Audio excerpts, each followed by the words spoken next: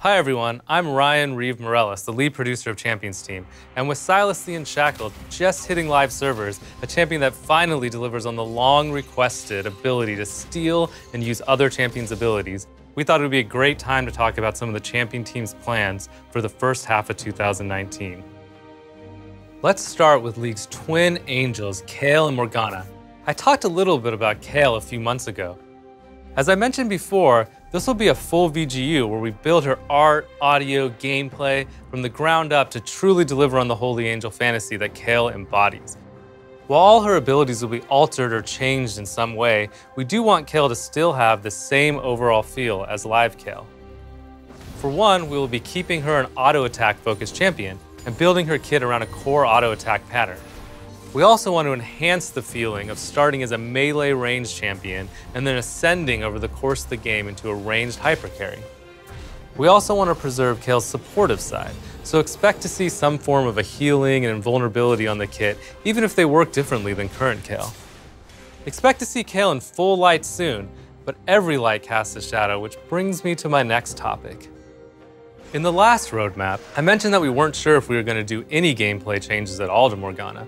That being said, we still wanted to take this opportunity to explore if there were any small changes we could make to Morgana's kit to make it feel fresh. The goal of the changes will be to make it easier and more rewarding for Morgana to make plays with her ultimate in the late game, as currently it can feel like using her ult in the late game can be very risky and oftentimes just leads to her own death. Morgana is a champion loved by many players, and we wanted to give her new visuals, VO, animations to really make the Fallen Angel theme shine when she finally steps out of the shadows later this year.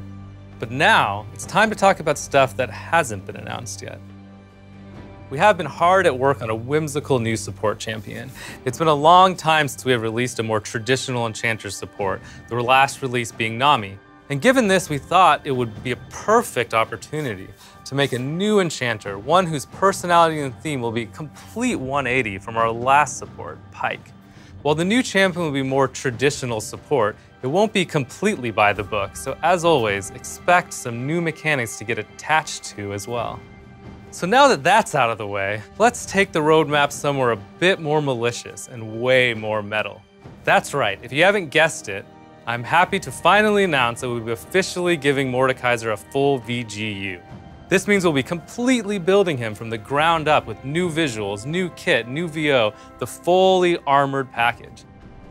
Mordekaiser is a champion that has been highly requested by players for a full VGU for a long time. In all honesty, he needs a lot of work, so expect him to have a heavily updated gameplay kit.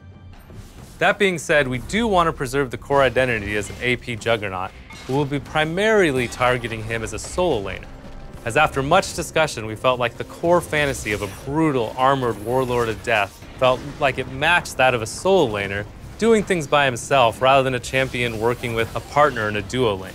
I mean, at the end of the day, Mordekaiser would rather send everyone he meets to his underworld kingdom rather than, you know, give them a shield.